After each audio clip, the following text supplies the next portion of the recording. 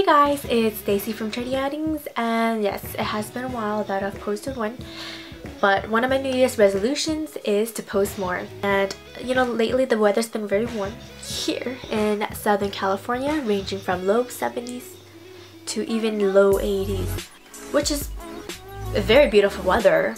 But unfortunately for me I cannot layer as much as I wanted to for the season but hopefully it'll cool off later on but as of now here is how I style some of my favorite pieces so this first look is very monochromatic and I wanted to play around with my printed cardigan from Modtex. And adding edge to this outfit, I wore my studded hat from Modtex And I've been very obsessed with this hat lately, so I've been wearing it to almost every outfit. I like that this cardigan is very playful. It has a mixture of different geometric shapes and swirl. Kinda cool that it has an illusion of shades of black. It is very slouchy, so it makes the outfit more casual and it's very comfortable. This top I got a while back on Nasty Gal, but with the twist, it shows a little cutout in the back. To finish with the silver touches, I wore my cube necklace. For that monochromatic look, I matched the top with this skirt from She Inside. These are from eBay, so the quality is not as great, before I broke into them, the rounded tips actually hurt my toes, so if you were to buy them, I would suggest rounding up half an inch. They can be quite slippery on certain surfaces. Other than that, I love its versatility.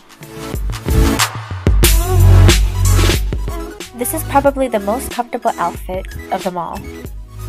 I think the utility jacket is very essential for the wardrobe because of its versatility and the multiple pockets. It is made of cotton so it's very light. With the outfit so subtle, I wanted to pop a little bit more with some stripes.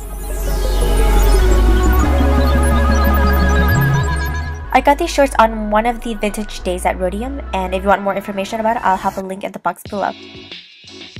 And simple jewelry for a simple outfit. These boots from Aldo remind me of the Everleys from Jeffrey Campbell, but they're still very comfortable and stylish.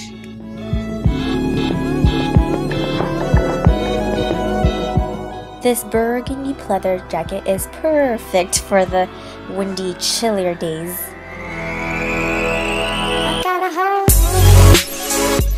The material of the shirt is actually really soft, and I like how it gives a sporty vibe to the outfit.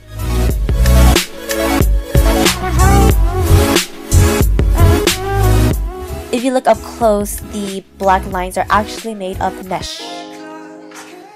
I bought these rings at Topshop, but you can find them for a lot cheaper on eBay.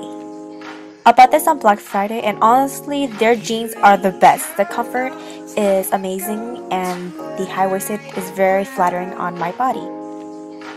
The cutouts caught my eye. There are from Jeffrey Campbell, and on top of that, they were only around $40, I remember, and I felt like I hit the jackpot. After a meeting at the lab, um, Buffalo Exchange happened to be nearby, and so I feel like the best finds are the ones when you least expect them. So this is the last look. At work, my coworkers told me that I reminded them of a furry creature. She's a I am pretty sure you have seen this cardigan almost everywhere, and I also have this one in cream. It is so cozy! The sleeves of the cardigan is about 3 fourths while the sleeves of the jacket is a little bit longer, so I pulled up the cuffs to give a cleaner look. Underneath the layers is a basic white tee from Zara. Tarte Vintage is a very cute boutique in downtown Santa Ana, but she also has an online website. Adding edge to the outfit, I wore my acid wash denim from Forever. And I'm surprised that these lasted me for over a year.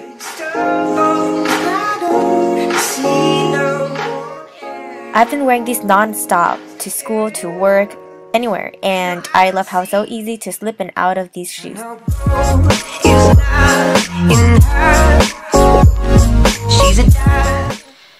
I hope you guys enjoyed the looks I put together, and I'll see you guys next time. But if you want, you can follow me on my Instagram. I'll put it right here. And I'll put that down below along with my blog and other information. Okay, bye!